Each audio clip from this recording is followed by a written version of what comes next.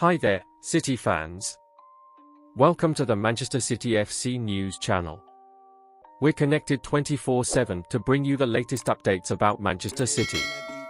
Please subscribe to our channel and turn on notifications to stay up to date with our beloved team.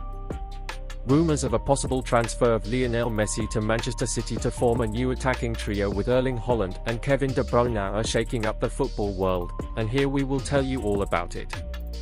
But first, please like and subscribe to our channel, as we always bring you up-to-date news about City. The football world is abuzz with rumours that Lionel Messi could leave Paris Saint-Germain to join Manchester City and form a new attacking trio with Erling Haaland and Kevin De Bruyne.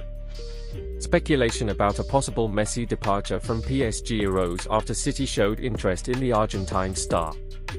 However, it is not clear what the transfer fee for Messi would be, as PSG invested heavily in the player's signing. De Bruyne and Haaland, on the other hand, are already established players at Manchester City and have been key players for the team in recent seasons. Pairing the Belgian midfielder with a possible trio of Messi and Haaland would be a bold move, but so far it is all just speculation.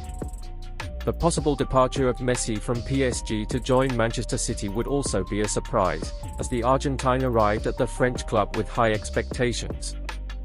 However, he did not perform as expected and failed to lead PSG to the Champions League title.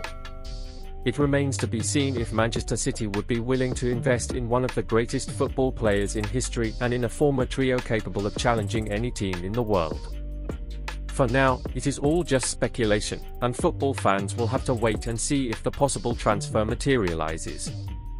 New fans, can you imagine Lionel Messi, De Bruyne, and Haaland forming a trio at City? Would this be the best trio in the world? Leave your opinion in the comments, as it is very important.